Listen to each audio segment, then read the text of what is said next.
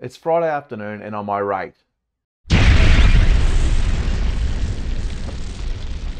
Today we're at uh, my 10th BIM rant and the last BIM rant for this series. We'll, we'll take a little break. And I thought that I would leave uh, my last, most controversial uh, post or BIM rant till last. And today I'm going to talk about the the naming or what could we call it? The introduction of words once again that really have no relevance to the industry. And I want today I want to talk about digital engineering. and I don't understand why here in Australia we're so fixated on creating new terminology all the time. Um, I, I, I, my gut feeling is is that uh, a lot of people uh, here delivering projects in the infrastructure space, and they kind of felt that BIM wasn't an appropriate word. Now, in building information modeling, we actually need to treat building as a verb, not as a noun. So, building information modeling actually is consistent across any built asset, no matter what type of asset it actually is. It relates to buildings, it relates to infrastructure. The other key thing is, is that, you know, the, the protection of the word architect is something that obviously I'm very passionate about as a registered architect here in Queensland.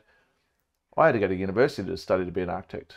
How do the engineers feel out there that all of a sudden there's these, uh, you know, digital engineers out there? It's kind of almost as funny as solution architects. I kind of laugh about that as well because, you know, we have these people in the IT space that think architects are an appropriate term to steal from the architectural profession.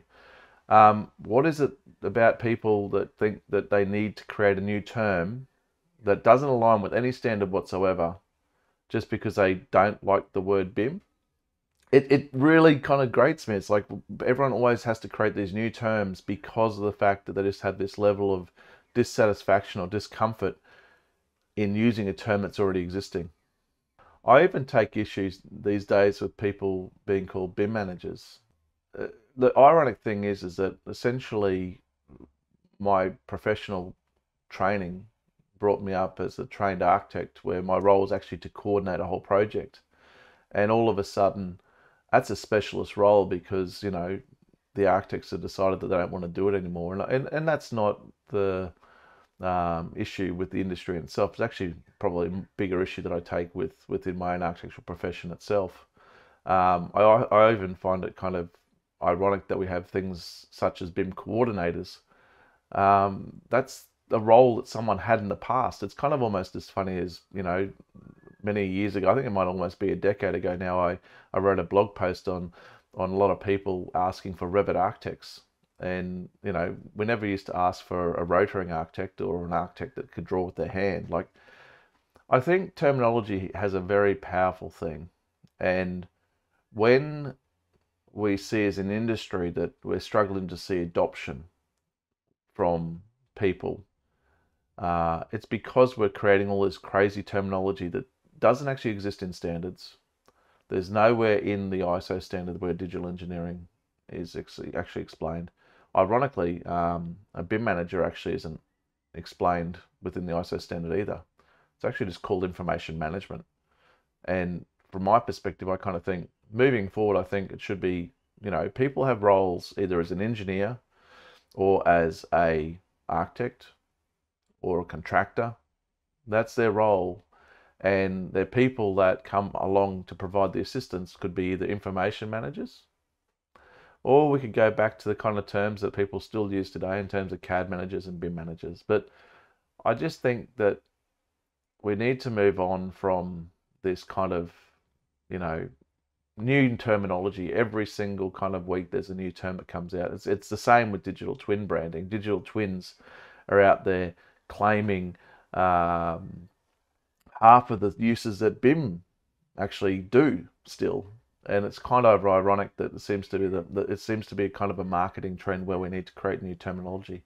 So I think we've got to move on. We've got to move back and, and, and stop making up terminology. And, and sorry for those people out there that think that digital engineering is actually a thing. I don't think it's a thing at all.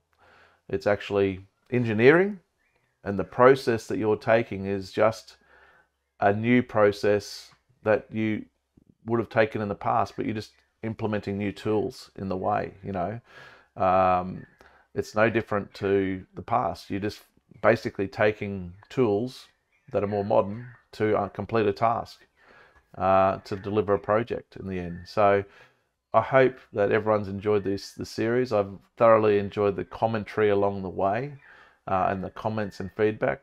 I was actually disappointed actually not to see so much more debate, but I'm hoping that this rant um, generates some debate uh, and conversations across the industry because I actually think that it's a problem people creating all of this new terminology um, just for the sake of doing so because they don't like one that's there, um, negating the, the benefits that we have as an industry uh, in having standardized terminology. Kind of ironic, right? Let's create a new standard again.